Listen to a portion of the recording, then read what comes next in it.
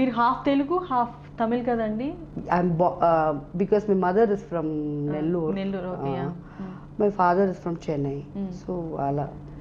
తెలుగు ఇక్కడ తెలుగు ఇక్కడికి వచ్చాక నేర్చుకున్నారా? ముందు నుంచే కొంచెం తెలుగు ఇంతే? ఇలాగే మాట్లాడతాను. ఇంట్లో ఏం మాట్లాడేవాళ్ళు మీరు చిన్నప్పుడు? Urdu. Urdu.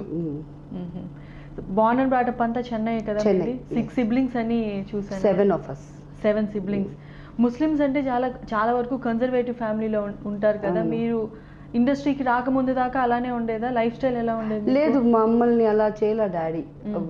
మేము చదువుకోవాలా. కాన్వెంట్స్లో చదివాము. We use to wear short skirts and all ఏమి మాకు అలా లేదు. మా చిన్నాన్న ఫ్యామిలీ అలాగా. వెరీ కన్సర్వేటివ్ మమ్మల్ని అలా పెంచలా. సో ఎంతవరకు చదువుకున్నారండి? Tenth standard fail tenth standard మీరు స్టడీస్ అంటే మీకు ఇంట్రెస్ట్ లేదని లేదు, చూశాను. స్కూల్ కూడా వెళ్ళేవాళ్ళు కదా? వెళ్తాను. వెళ్ళి వెళ్తే కొడతారు టీచర్లు. ఏది రాదు కదా కొడతారని భయపడి అప్పుడప్పుడు కటింగ్. స్కూల్ కట్ చేస్తాను.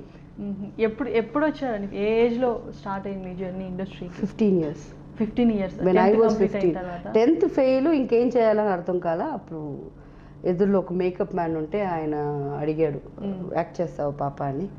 సరే అన్నాను. అలాగా ఫోటో షూట్ కూడా లేదు. నాకు తెలియదు ఫోటోలు ఎలా ఉంటాను ఏమి? సిల్క్ స్మిత హీరోయిన్గా చేసిన ప్లే గర్ల్స్ అనే ఫిల్మ్కి. నన్ను తీసుకెళ్ళారు.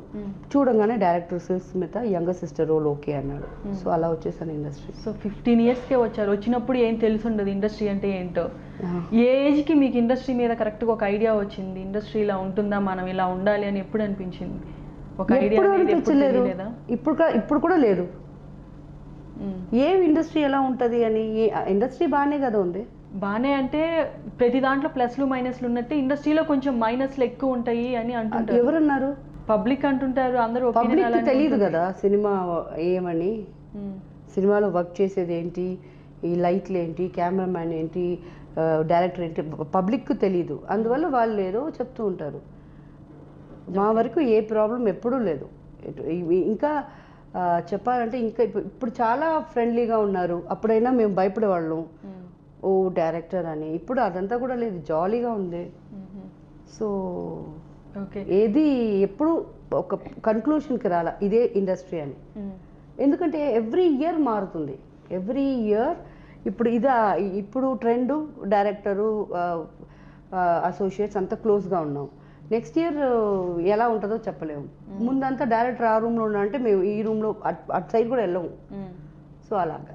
ఓకే. ఒక ఏదో ఒక పోస్ట్ చూసాము. స్టిల్క్ స్మిత ఏదో మీకు గొడవ అయింది మిమ్మల్ని ఏదో తిట్టారో కొట్టారు అది నన్ను కొట్టారు ఒక కొట్టారా? షార్ట్కి ఎప్పుడు ఈ మూవీకైనా ప్లే గర్ల్స్?